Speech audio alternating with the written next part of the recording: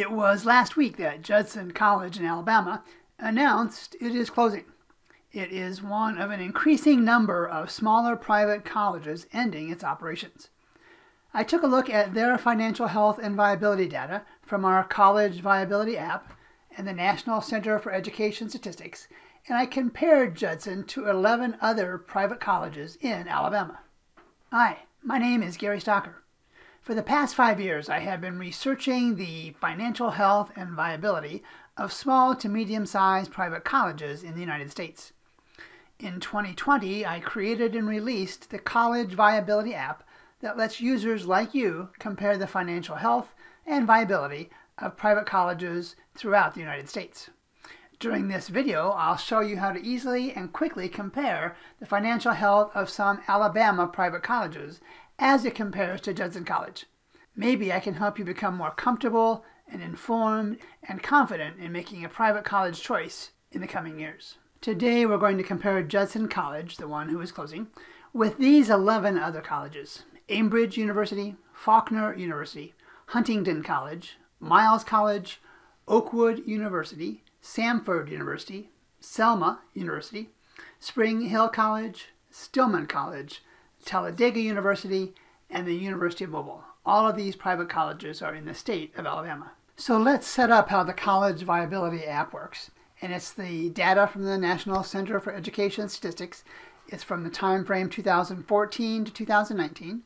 It's a little bit dated here in 2021, but that's how slowly colleges post this stuff and how slowly the federal government makes it available to you and I. It still shows us trends and patterns. And as you'll see during this video, some of those trends and patterns for colleges, private colleges, are good, and some not so good. Here are the 12 colleges I selected, Judson College plus 11 others, and you can see that they're all pretty much a similar size range from small to medium-sized colleges. The largest of the 12 is Samford University at about 5,000, almost 6,000 students in 2019. And it goes down to smaller colleges like Selma, which was just over 200 students. Let's go to the screen that compares six years worth of data for these colleges. And I sorted the six-year change in enrollment for the 12 by lowest to largest. And what you'll see is most, seven of the 12, have had decreased enrollment for the six-year reporting period, 2014 to 2019. And really two others, Spring Hill College and the University of Mobile, have essentially flat growth. So of the 12, really only three have shown significant growth. Stillman, Stillman Samford, and Talladega. Judson College was effectively flat. Its enrollment, full-time equivalent enrollment, decreased about 40 students over six years. Anytime your business doesn't grow over such a long period of time, you have to have some concerns, but we see that pattern with others as well. Let's take it one step further, and I'm going to use Judson as our comparison. And over the course of six years, their actual amount of tuition and fees collected went down not quite a half a million dollars. This is over six years. You can see there's a variety of numbers in the six-year changes, and really only Samford University, which increased its tuition and fees about 23 million, showed any substantial growth. I'll talk about the graduation rates here in a couple minutes. But the biggest comparison is when we look at the six-year total change in expenses compared to the six-year change in core revenues. And again, let's go down to Judson College. And we can see that over the course of six years, expenses for Judson went up 400,000, not quite half a million. But its revenues went down 3 million. Not a good combination. Again, I have to reinforce it's over a six-year period. This isn't an isolated event. But we see that pattern really with almost all of the colleges to varying degrees on this list. Let me quickly go down the list. Oakwood University, a little bit more in expenses than revenues. Uh, Selma University, a million one in increased expenses and lost revenue. No, that's not true. Decreases in revenue of a half a million dollars. Judson, we talked about. Uh, Miles College expenses went up three million, revenues up about eight hundred thousand, and you can see on and on throughout the list the pattern holds. And even look at Samford University, which had some good in student enrollment growth.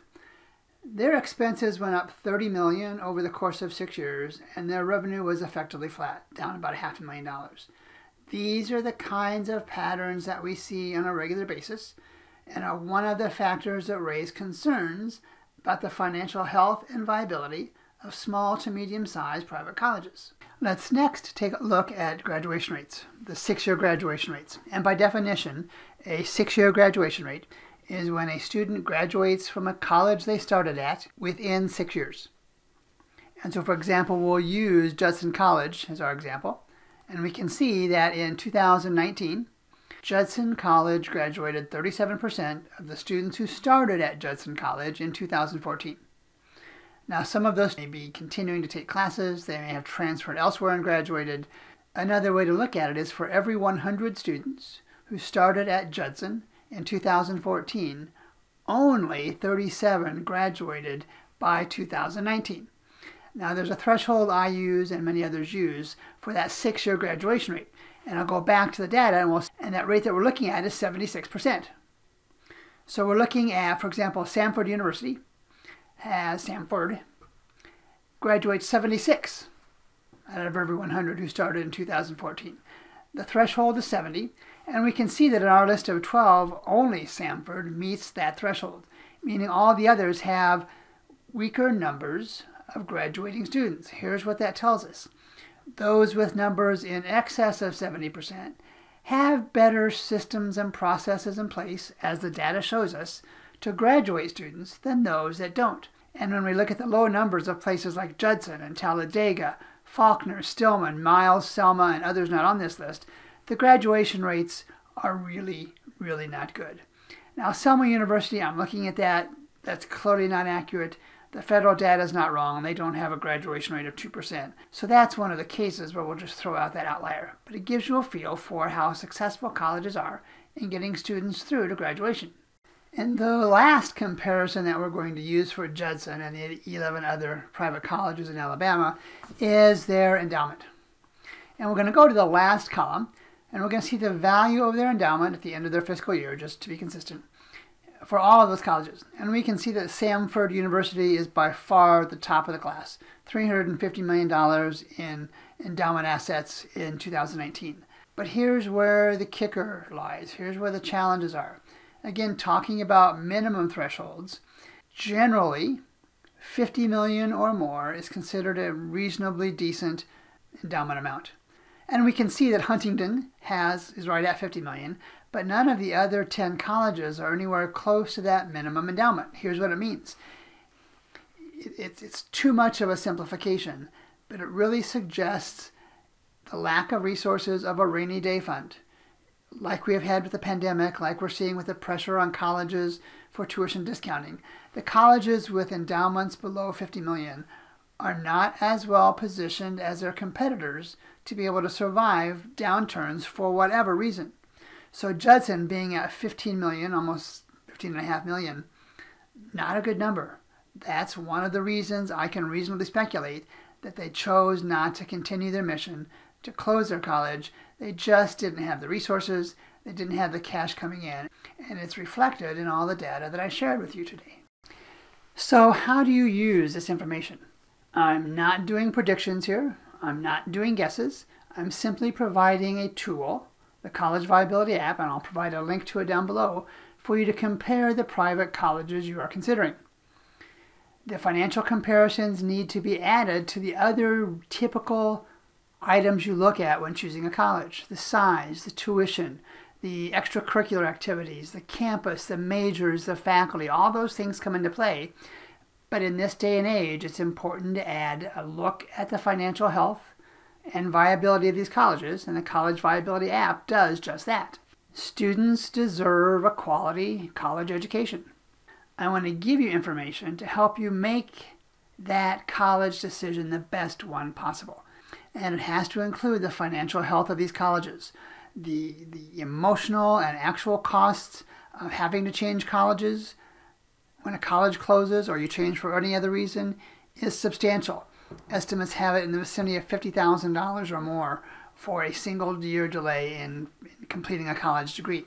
Granted, very few people have the skills or interest in analyzing a college's, a private college's finances. That's why I've made the College Viability app available to simply let you make your own comparisons. So far, I've only reviewed a small set of private colleges, almost all of them in the Midwest or northeastern part of the country where the greatest risk of college closures has been and will be in the coming coming months and years. If you have a set of private colleges that you would like me to review, go ahead and put that down in the comments and description down below. If you like what I've shared with you today, make sure to click on the like button. Uh, you can even subscribe to this channel to see all the updates that I do.